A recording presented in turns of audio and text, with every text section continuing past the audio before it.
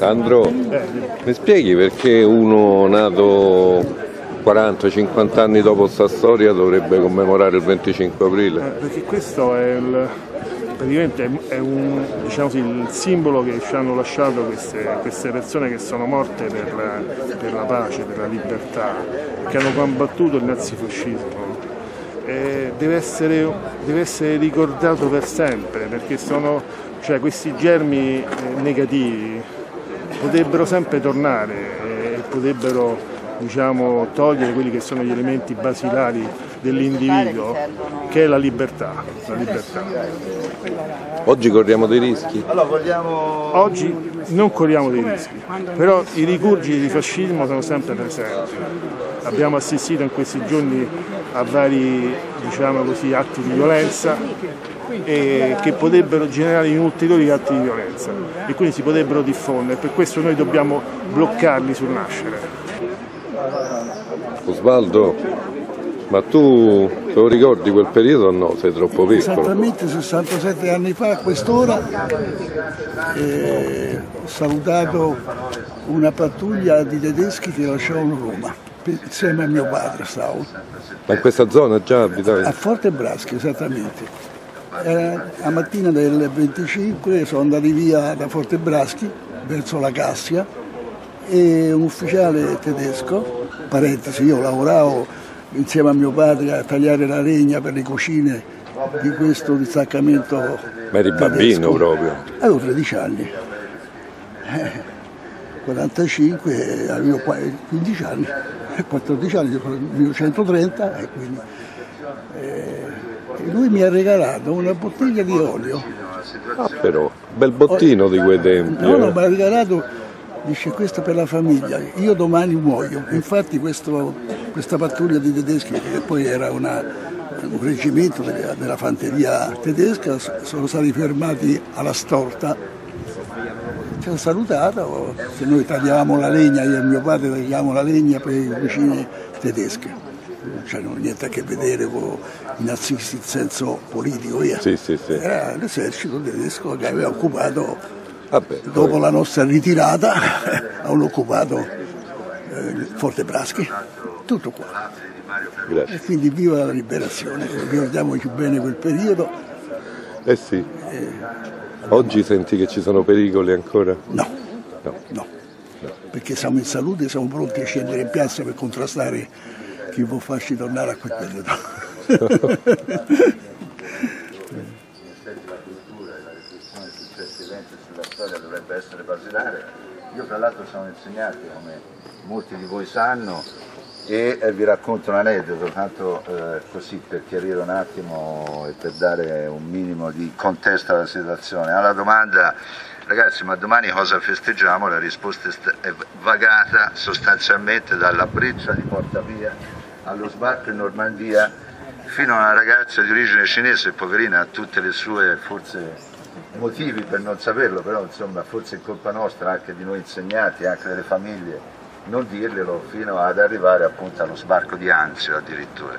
Quindi è evidente come insomma ci voglia un impegno da parte di tutti all'interno degli ambienti di lavoro, all'interno della propria famiglia, eh, per noi insegnanti nella scuola soprattutto quello di diffondere, di ricordare, di far capire che queste vite eh, così spezzate in modo tragico, questo è un quartiere come molti altri in cui la resistenza a tutti i livelli, a tutti i livelli, cioè, ci sono giovani che sono morti ma ci sono anche persone che eh, in qualche modo hanno dato un apporto diverso, Eh, non importa se più grande o più piccolo, proprio per farci trovare in una democrazia che noi dobbiamo difendere e di cui bisogna in qualche modo eh, dire, eh, portare con noi di generazione in generazione eh, i valori. 67 anni sembra però effettivamente siano passati veramente secoli, stiamo forse rischiando di perdere certi valori che sono, che sono basilari.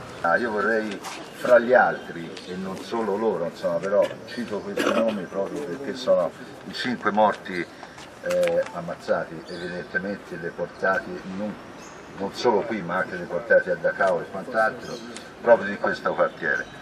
Come dicevo prima, ogni quartiere di Roma come Roma città aperta evidentemente ha avuto proprio morti, ha avuto le proprie sofferenze, ha avuto i propri sacrifici. Qui siamo appunto per eh, Mario Carucci, di cui naturalmente onoriamo la memoria e la vita. Quindi ecco, direi un applauso per uno di questi nomi. Galliano Tavarini, Sofranco Turchetti, l'altro deportato a Dachau e morto in data non conosciuta, quindi questo rende ancora più triste perché almeno qui c'è una data eh, ci sono persone di cui effettivamente sono state perse le tracce, sono state poi ritrovate ai campi, però non si sa nemmeno in che data siano, siano deceduti. Vittorio Buttaroni e Romualdo Chiesa. Allora la nostra gratitudine per quello che ci ritroviamo e che dobbiamo proteggere ognuno per conto proprio e, e con le azioni appunto da fare nei propri contesti lavorativi e familiari. Ora direi Sandro, eh, io lascerei la parola a chi, chi parla? Francesca. A Francesca. Ti lascio. Lo leggo io? Buongiorno a tutti. E io dirò due parole per ricordare Teofrasto Turchetti, che era il fratello di mio nonno e ovviamente quello che so di lui è molto poco, è racchiuso nei documenti inviati dagli archivi della Croce Rossa e dai campi di concentramento in cui è stato prigioniero. Si riducono prevalentemente a numeri, date, date di arrivo, numeri di matricole. Teofrasto nasce a Roma il 5 giugno del 1921. Quando viene catturato dopo l'8 settembre del 43 è perciò molto giovane, 22 anni appena, ma è già sposato e padre di una bambina. Viene internato in diversi campi di concentramento, dapprima a Dachau, dove arriva il 22 settembre del 43. Viene classificato come lavoratore forzato e gli viene dato il numero di matricola 55273. Successivamente viene trasferito nel campo di Sachsenhausen tra il 15 e il 18 gennaio del 45, classificato come prigioniero numero 128830. Il 6 marzo arriva poi dopo un altro trasferimento nel campo di Buchenwald, classificato con il numero di matricola 133539.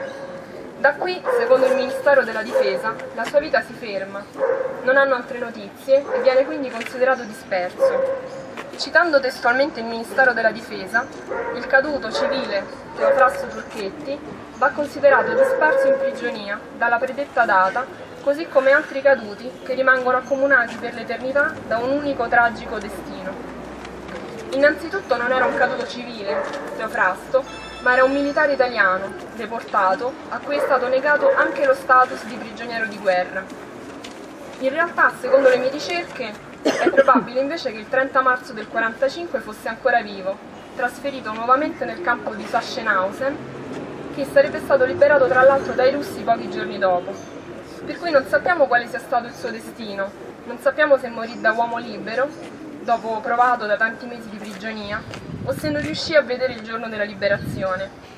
Nessuno potrà mai dirci cosa avrà pensato o provato, quanta paura e quanto coraggio lo avranno sostenuto. Nessuno potrà mai dirci il giorno della sua morte, ma nessuno potrà soprattutto mai spiegarci perché ad un giovane uomo è stata negata tutta una vita. Certo è che il suo pensiero sarà andato alla giovane moglie, alla sua bambina, ai suoi genitori e ai suoi due fratelli, così come oggi il nostro pensiero va a lui e ai milioni di persone rese schiave e assassinate dalla barbarie nazifascista.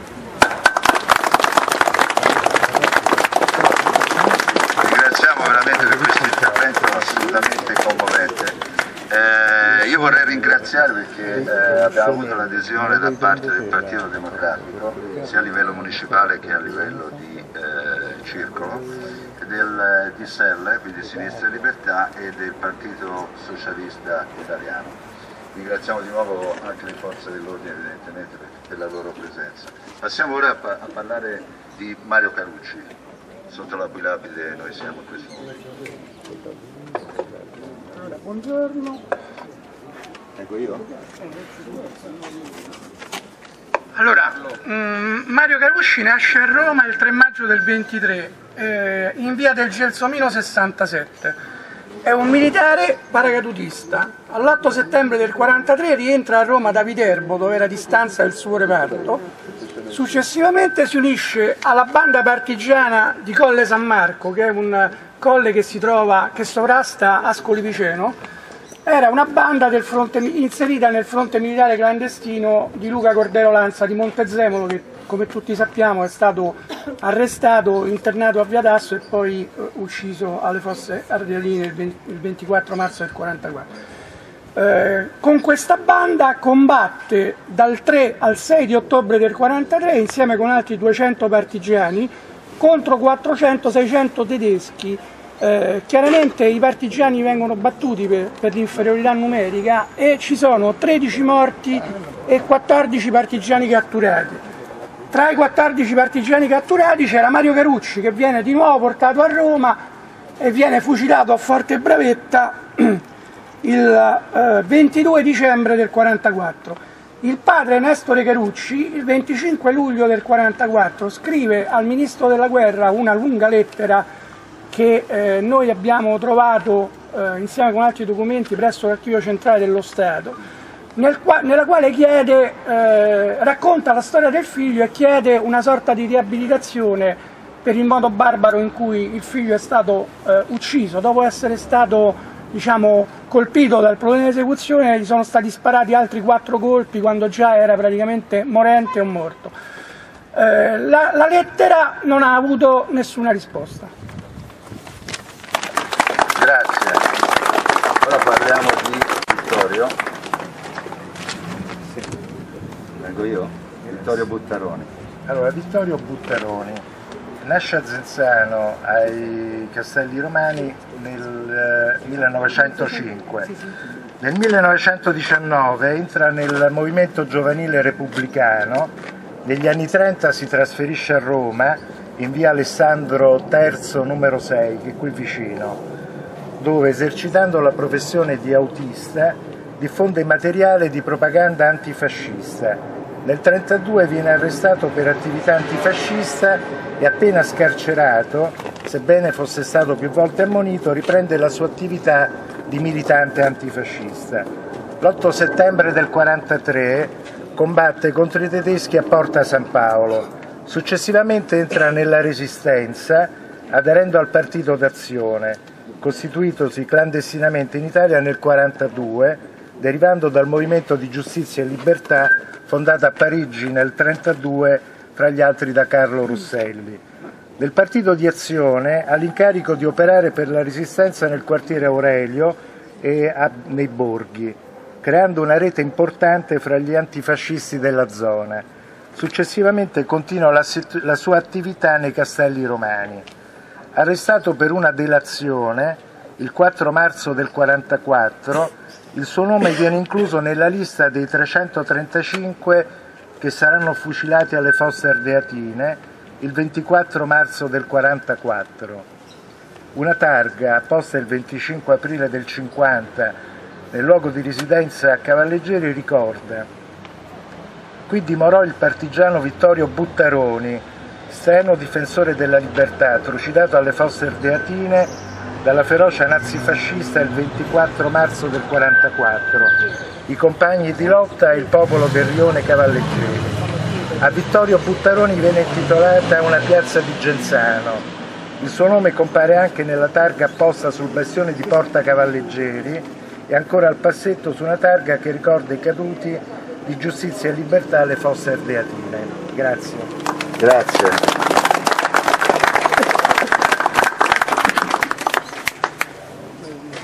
Annalisa allora che ci parla, ci ricorda. Gagliano Tabarini e Romualdo Chiesa. Se mi sentite parlo anche così. Se il braccio mi dà forza. Allora io approfitto per, soltanto per ricordare una cosa, tutte queste schede e questi documenti di cui stiamo leggendo vengono quasi tutti dall'Archivio Centrale dello Stato, che è un posto che conserva la memoria e questi documenti che sembrerebbero morti poi sono quelli che invece possono dare eh, la vita per ricordare queste persone.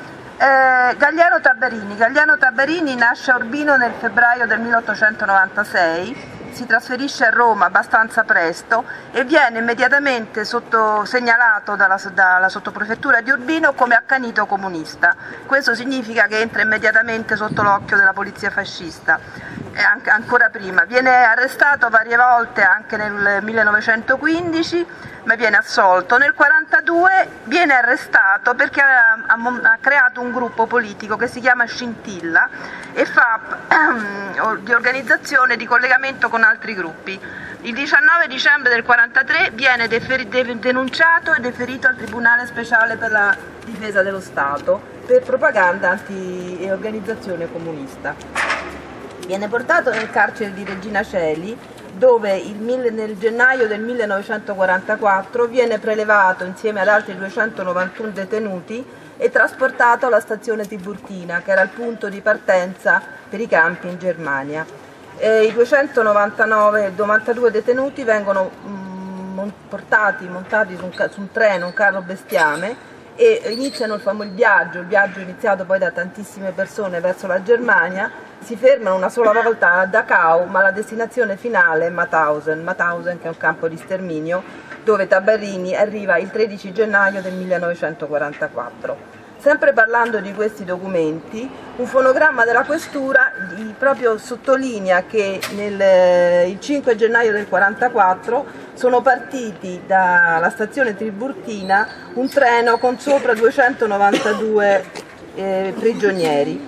Gagliano viene portato a Mauthausen dove muore il, il 29 novembre del 1944.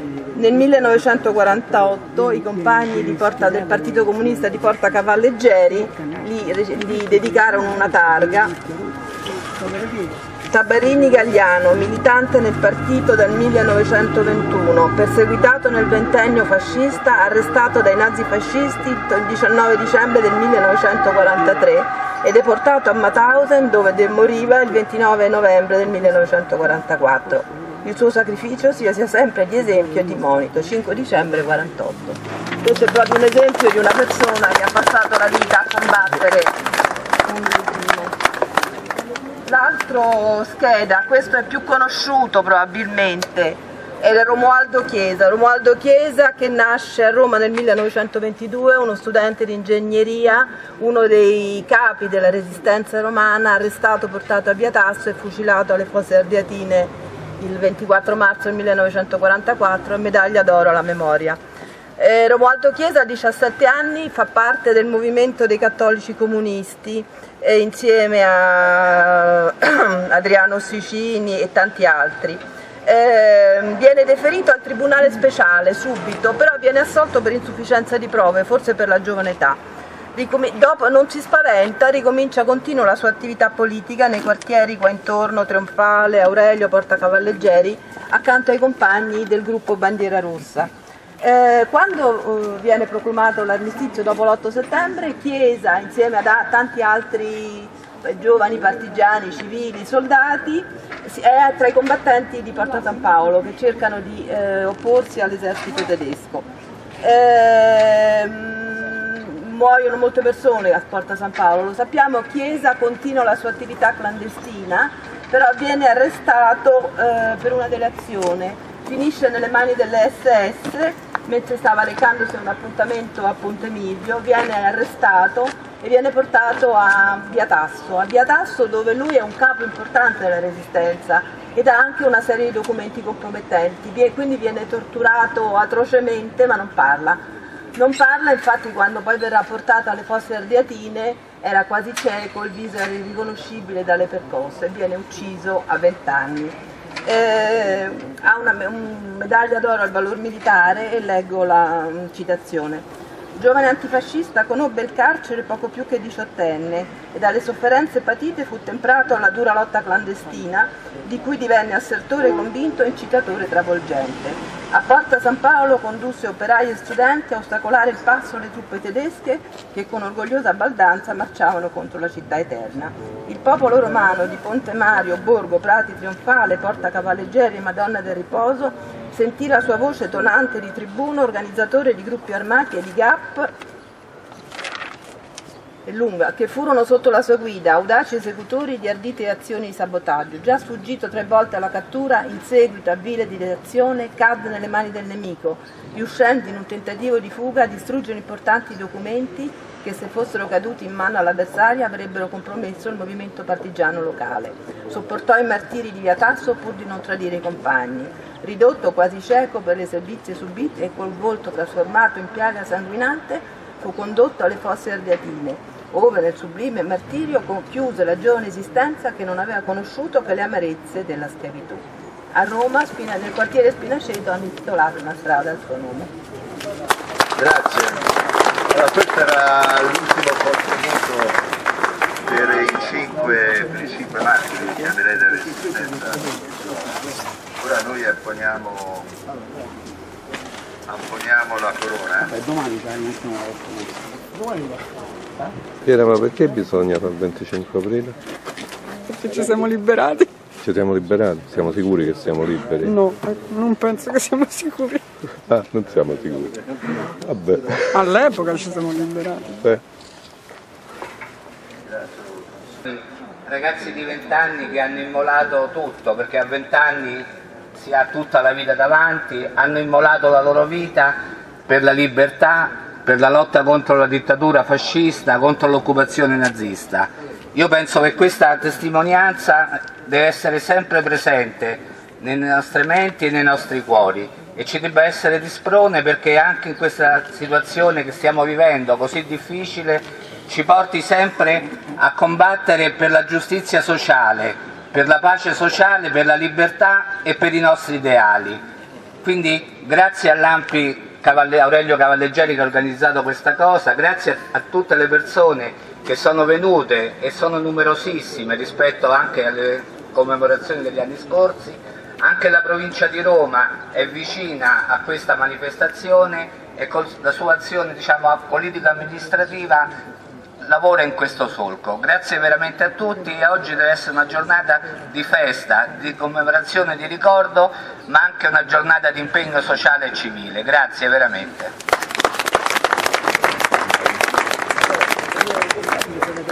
Ma insomma Michele, ma siamo veramente liberi? No, io ho paura che stiamo perdendo le nostre libertà in questo Ah. momento. Non solo non solo economiche, ma anche costituzionali, perché si sta facendo scempio della Costituzione. E bisogna che la gente lo sappia e che si creino i movimenti per impedire che questo avvenga. Questa, questa è una, è una battaglia importantissima. Noi dobbiamo difendere la Costituzione fino in fondo, come, come i resistenti hanno fatto, hanno dato la vita per la resistenza, noi dobbiamo essere disposti a tutto per difendere la, la nostra Costituzione. Oggi abbiamo altri problemi, possono essere messi in dubbio i principi fondamentali della nostra Repubblica altri, in altri contesti e quindi forse varrebbe la pena un po' recuperare i principi fondanti della Resistenza per un po' confrontarsi con ciò che succede oggi. Mi sono svegliato e ho trovato l'invaso. Partigiano, portami via. Oh bella ciao, bella ciao, bella ciao, ciao, ciao, partigiano, portami via, che mi sento di morire. Se io muoio da partigiano, Oh bella ciao, bella ciao, bella ciao, ciao, ciao, se io muoio da partigiano, tu mi devi seppellire, seppellirai lassù in montagna. Oh bella ciao, bella ciao, bella ciao, ciao, ciao, seppellirai lassù in montagna, sotto l'ombra di un bel fiore che passeranno bella ciao, bella ciao, bella ciao, ciao, ciao, la gente che passeranno mi diranno che bel fiore, e questo è il fiore del partigiano.